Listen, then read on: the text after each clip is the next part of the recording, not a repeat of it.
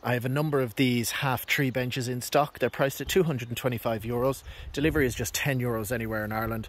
Perfect for anyone with a tree that they can't get fully around or maybe you're going up against a wall or a fence and just looking for a nice little seating area.